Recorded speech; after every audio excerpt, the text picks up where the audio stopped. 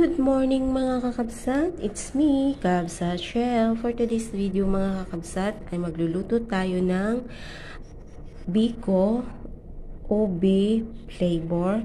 At ito yung mga ingredients na kailangan natin. Kailangan natin ng OB flavor. Uh, kondensada na siya mga kakabsat. At bumili rin ako ng pang toppings natin. At ito, instant coconut milk or coconut cream at kalahating malagkit or glutinous rice. So, isasain ko muna siya mga kakabsat habang mag, nagluluto tayo ng uh, lulutuin natin yung cream, yung coconut. So, let's start mga kakabsat. Mag-start na tayo mga kakabsat. Luto na yung ating uh, glutinous rice. So, start na tayo magluto ng gata. Coconut cream yung aking ginamit. Ayan. Pakuluin lang natin at ilagay na natin yung ating condensed na OB flavor.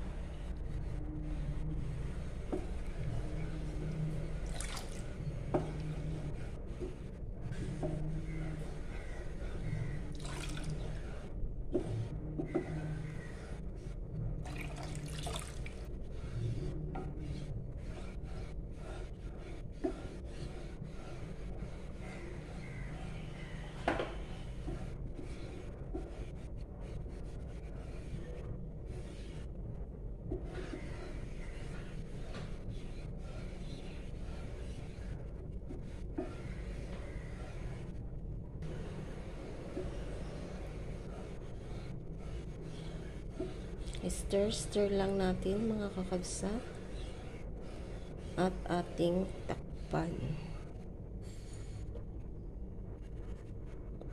Pakuluin natin. At ito yung ating glutinous rice mga kakabsat. Luto na siya. At pagkatapos kumulo mga kakabsat, ito yung ating OB flavor na kondensada. Ayan siya. At kumukulo na yung ating gata.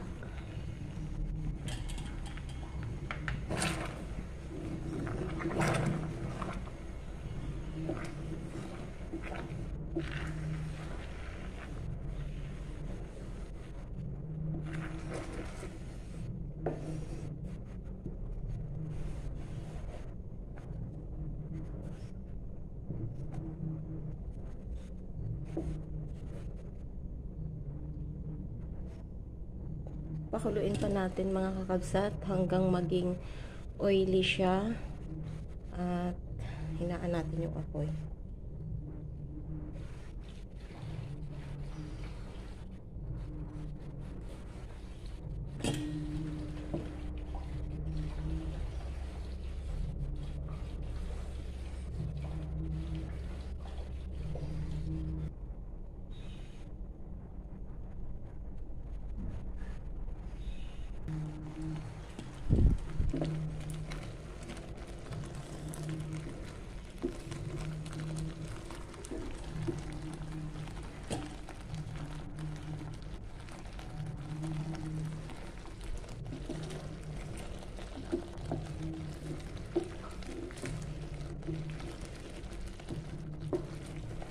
Ito ay my own version mga kakabsat ha.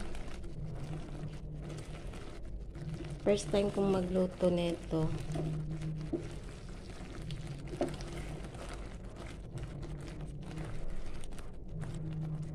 Ayan, malapot na siya.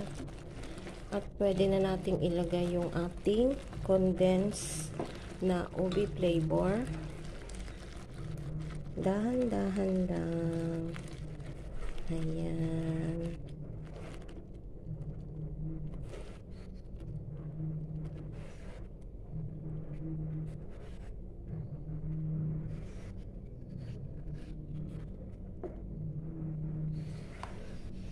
Ayan, magiging OB na yung ating biko. Napapanood ko lang siya, mga kakabsat. Pero gusto kong gawin. Kaya ito, nagluto si Kapsat Shell ng OB Biko Flavor.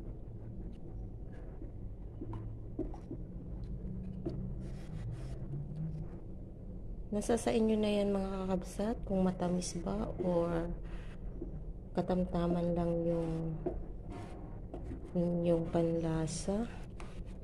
Kasi ako medyo matamis yung aking pagmamahal. Charot.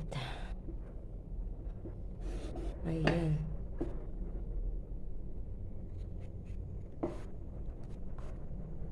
At tikpan natin kung matamis ba o hindi? At maglalagay ulit tayo.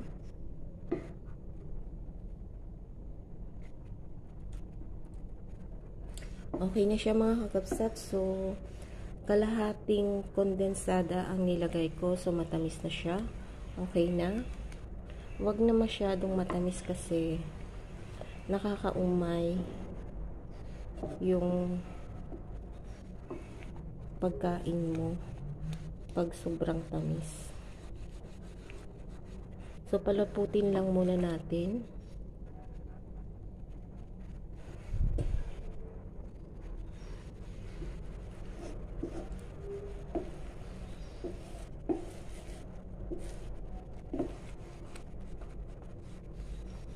Hindi lang ako ang kakain nito mga kakabsat ha.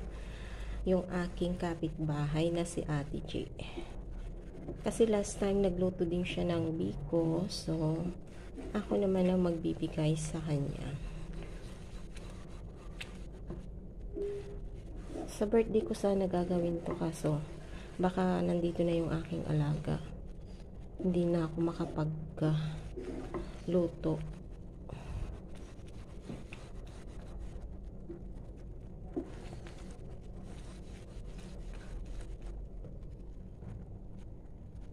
Palaputin na lang muna natin at ilagay na natin yung ating glutinous rice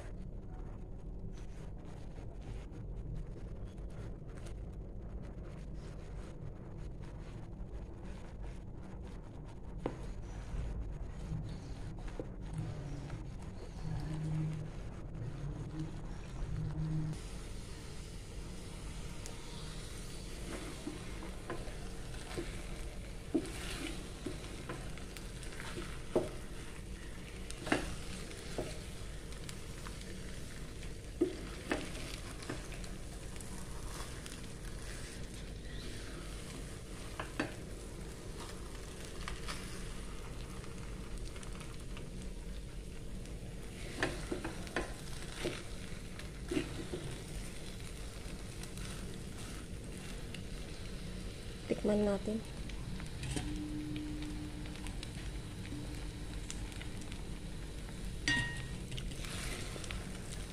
Okay yung lasa niya mga kakagsat.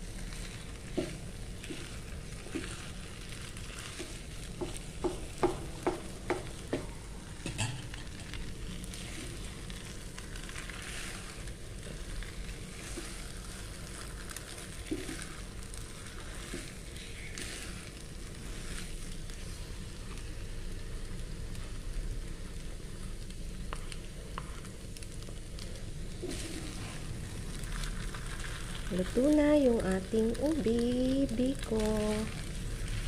Ayan mga kakabsat. Nahirapan akong mag halo. Ayan. Ito na yung ating ubi. At lalagyan na natin siya sa, ilalagyan natin ng pang toppings na cheese Hahanguin ko na siya mga kakapsat.